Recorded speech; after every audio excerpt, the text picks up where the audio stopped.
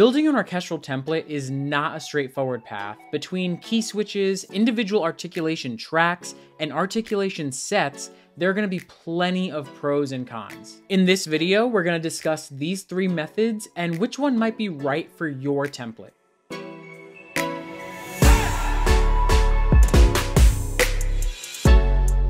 Hey everyone, my name is Robert Rodriguez and I'm a media composer. If you're new here, I want to invite you to like this video and subscribe to the channel. My goal is to make the music writing process as easy as possible for any new composer. So this video is part three of my Logic Pro template building series. If you haven't already, go ahead and check out my past few videos in this series. The first one was all about my own template and we kind of break everything down. And in the second video, we kind of go over how to use external MIDI tracks and auxiliary tracks to help you build an effective orchestral template. So like I mentioned before, in this video, we're gonna take a look at the pros and cons of key switches, individual tracks, and articulation sets. It's going to be important to understand the benefits of each and how these three methods can be applied to your own template. These are the foundations of pretty much what your whole setup is going to be based on. So key switches are the dedicated keys that let you switch between different articulations. So I pulled up an instrument in Kontakt here. This is the bassoon's articulation and it's custom because I pre-assigned these key switches. So as you can see, for for short eighth notes, I did D6, short quarter notes, E6, short half notes, F6, legato, C6, half step trill, G6, and whole step trill, A6. And if you were to look at the blue keys on the keyboard, that represents the range of the instrument, and then the red keys will represent the key switches themselves. So right now, it looks like the C6 is being held down, so that means that we're going to get legato samples.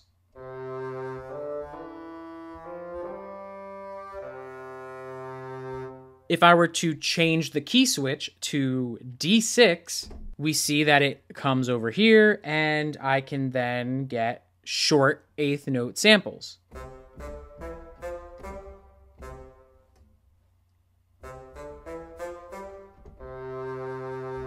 So in just one track, I have quick access to different articulations. So one of the pros of key switches is really that you can save a whole lot of resources mainly the number of tracks that you're using. In my other template videos, I really go over the importance of saving your resources. Another major pro is that everything is just in one instance of Kontakt or play or opus or whichever player that you're using. So even though I have a bunch of articulations here, it really comes down to one instrument patch loaded into one instance. So if I wanted to, I could just label this bassoon, all articulations, and I would know that this is everything I need from that bassoon. And then if I wanted to, I could add another track, Kontakt.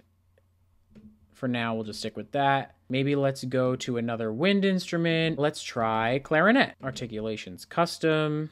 And you'll see that instead of having the key switches up high, I set the key switches down low because the instrument kind of creeps up in the upper range. So it's good to have it on one end or another. The same thing happens. I just do it to D0, E0, F0, C0, G0, A0. So I know C0 is going to be legato. And so this is the same thing as the bassoon, just a different instrument. I'll name it clarinet, all articulations. So if you were to keep doing this for all of your winds and then all of your brass and strings and so on and so on, you would have one track pretty much for your one instrument. And this is probably very similar or as close as you're gonna get in a DAW to reading a single line on a piece of sheet music. So the cons of key switches. Though the tracks themselves don't seem to be too messy because they're all on one line, if we were to dive in a bit closer, the regions can start to get messy. And this is because you need to include a MIDI note that represents the key switch. So not only are you including the musical phrase, but you're including data that's needed to trigger the different switches. This can be confusing because one, key switches need to be triggered before the actual note is played. And two, exporting the MIDI data out to be orchestrated and played by actual players can be a real hassle. If you accidentally leave a key switch note in the export data, then a player might get an accidental note at the top end or low end of the register that isn't meant to be there. Now, it's important to note that this is not necessarily a problem if you're working by yourself or you don't plan on sending your music out to an actual musician, but it is something to keep in mind if you are using key switches. So another con is that some long samples might depend on the modulation wheel to change dynamics, and then short notes might depend on the velocity or how hard you hit the key to affect the dynamics. And this can make the region and the automated MIDI data very inconsistent. Next up are individual articulation tracks. So these are kind of the opposite of key switches because each articulation is assigned to its own track. So if we were to create another instrument, I was planning on using one of the Spitfire Strings Professional products. Let's go for cello. So we will do legato. We will do maybe short pizzicato, short spiccato, and tremolo. And we'll stop there for now. So we will go to the mixer. This is up to four. And so basically, within one instance of Kontakt, you will load up different articulation patches. So one patch here is specifically legato. There's nothing else.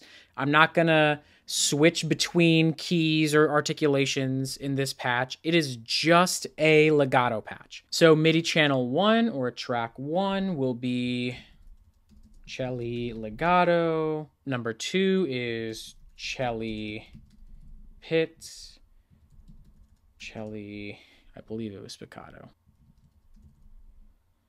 And cello tremolo. So with this method, we see all of the articulations laid out preset ahead of time. And so the pro of using individual articulation tracks is that once you set everything up in your template especially, then you don't have to really go back into the Kontakt instance. As long as everything is preset, you're gonna know that your articulations sound the way that you want. And unlike with key switches, you don't have to worry necessarily about parameters changing if you're switching from long to short or if your shorts have a more aggressive tone than your longs. If you're looking at your template from afar, you can have a view of what each articulation is doing. You can see exactly where the pizzicatos are because they're on their own track. And you can see exactly where the tremolos are because they're on their own track. Also, if one articulation sounds different or more aggressive than the rest, you can always adjust the parameters in its own region. This helps you balance your template and your instrument to make it sound like it's all one cohesive instrument, as if it were coming out of one track like the key switch. So now the cons of articulation tracks. Even though you can see each articulation on its own track, this can make your template overwhelmingly large, especially if you have multiple articulations for one instrument. Then think about doing that for all of your winds, all of your percussion, all of your brass, all of your strings, whatever it is that you have. The bigger your orchestral template, the more tracks you're going to use up. So in that case, the best thing you can do for your template is really get in there and organize your tracks into folders or into sections or whatever's best to help you just keep it clean. Another thing is that some sample libraries will give you a full key switch patch and then give you individual articulations as well. So Spitfire is pretty good at this. Like they have an individual articulations folder. So if we just opened up the sample library, we would get the different sections and then we were looking at Celli 12. So if I were to just load that in, so they do offer a key switch patch as well as individual articulations. And for the most part, sample libraries are good at offering this. However, some sample libraries just won't offer individual articulation patches. So you would essentially have to load in a full key switch patch for every single articulation that you want to use. And there are, of course, ways to reduce your RAM usage, your CPU usage, but you're essentially using the same patch multiple times. So articulation sets are very similar to key switches because they rely on the key switch patch. But with the sets, it's almost like Logic is working with you to make switching between articulations as easy as possible. So if we were to look at the right hand side over here, we would see articulation set. And Logic actually offers some of their own, like studio horns, studio strings. And if you were to load up an orchestral patch of their stock samples, you would be able to load up an articulation set for almost any instrument. So this is a trumpet solo articulation patch that I customized. And what I did was I just preset these key switches to be down at the bottom here. So C is my legato, D is my short eighth note, E is the short quarter note, F is the short half note. And I pre-assigned that to be in the zero range. And in doing so, I created my own articulation set that follows that key switch. So what I did was I created a Cinesamples folder. These should be actually be in a wins folder because these are specific to wins, but I created a brass folder.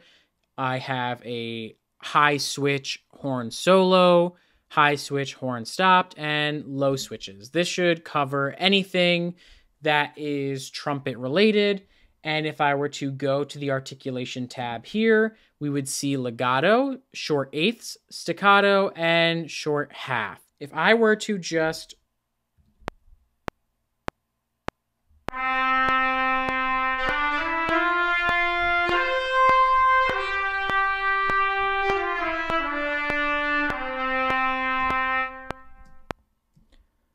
So right now, everything was recorded as simple legato, but the difference between articulation sets and key switches is that I don't have to write in those key switch triggers anymore because I can assign everything by MIDI note.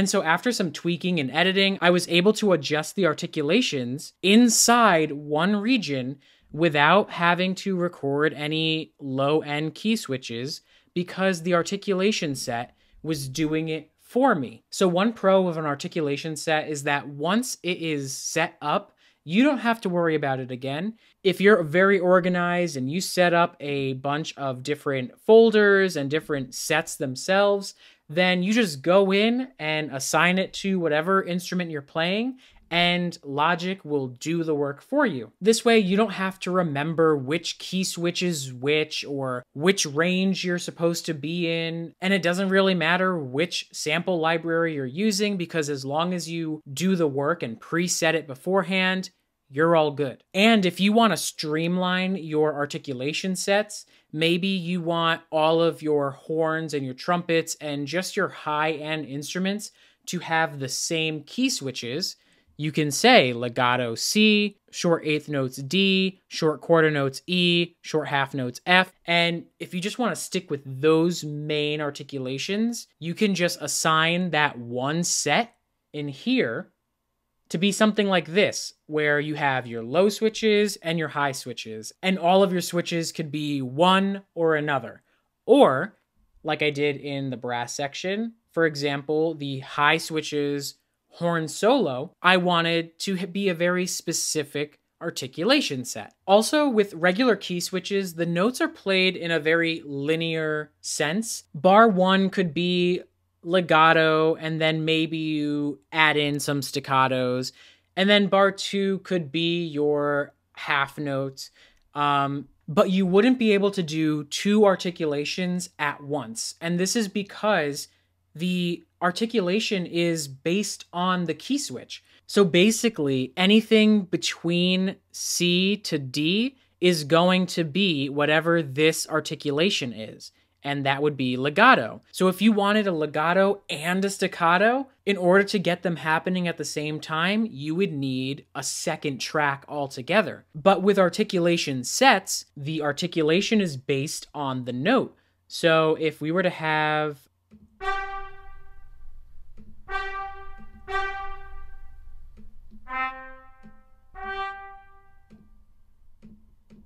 So basically, this I still want to be long, and this I want to be my short eighths. They can happen at the same time.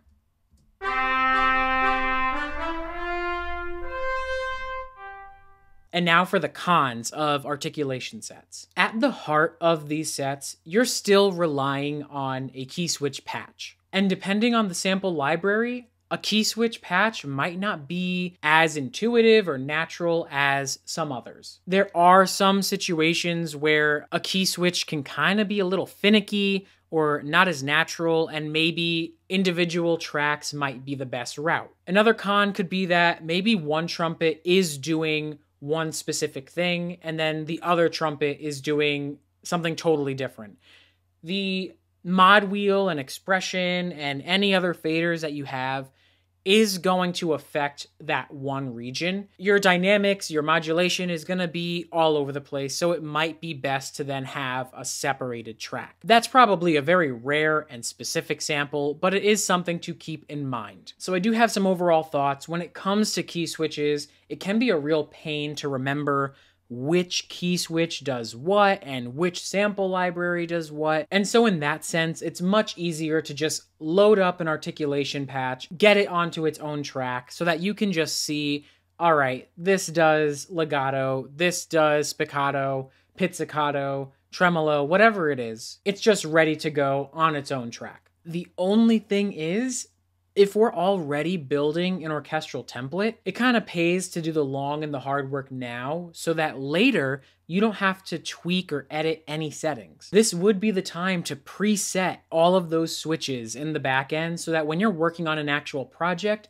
you don't have to leave your creative workflow. In the past, I've used individual articulation tracks and key switches. I found separated tracks to be extremely useful when I wanted to tweak individual articulations. But having a bunch of articulation tracks for one instrument alone was pretty overwhelming no matter how much I organized my template. So key switches are a great alternative if you're trying to limit the number of tracks that you're using. But then remembering which articulation is which and then adjusting the switches on either end of the register can really take you out of a creative workflow. Personally, I've really been getting into articulation sets because I know that if I take the time now to really set everything up. Working with my template in the future will be a breeze. I love being able to just load a patch, pick my articulation set, and then just assign based on the MIDI note. With articulation sets, my entire workstation can stay organized. And once everything is preset like this, I don't have to go back and adjust anything again. But honestly, I think you need to take a look at where you're willing to compromise and how you like to work. Some samples just really work differently from one another, so figuring out a mix of all three methods could really help your template in the long run. But let me know in the comments which method works best for you or maybe which ones you've used in the past. But if you got value today, definitely consider giving this video a like, subscribing to the channel, and hitting the notification bell so you don't miss out on any new content. And if you're new to composing, I wanna give you access to my free Composer Reference Guide. It covers almost any genre for film and television and breaks it down into four basic foundations melody, harmony, rhythm, and orchestration. This guide is perfect for any composer looking for an overview of each genre, and it gives you that simple starting point. Go ahead and check the link in the description for access to that free guide. So thanks for stopping by and happy composing.